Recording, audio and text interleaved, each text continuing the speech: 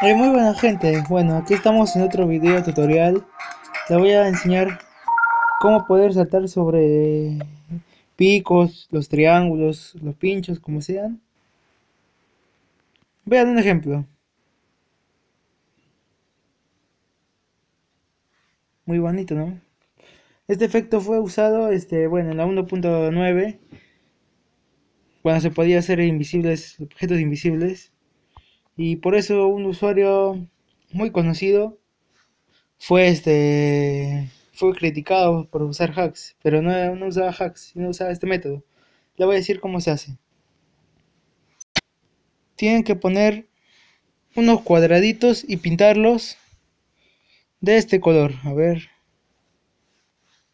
Negro con blending, o si no pueden, pueden hacerlo invisibles, ya gracias a alfa o a o a este opacidad que que bueno pueden ver en mi video que les lo dejaré en la descripción y al final del video. Gracias por ver este video. Adiós